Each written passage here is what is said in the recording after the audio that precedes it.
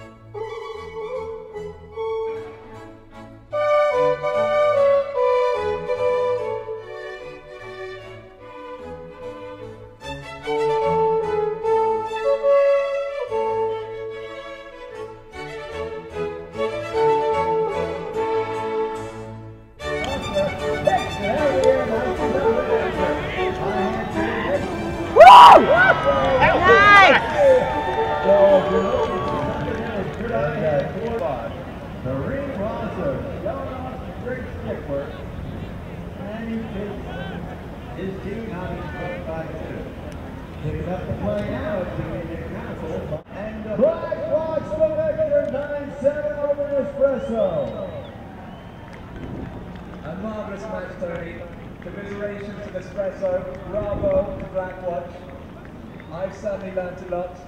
I'm going to go and buy a donkey tomorrow. Tony, thank you so, so much. A few thoughts of the match? Well, Blackwatch successfully defends their title. Nacho Figueras, as always, the star. Nacho scoring six goals this afternoon to lead his Blackwatch team to victory. So let's give both teams a big, big round of applause. They put on a great. I think the teams will circle the field as they come past you.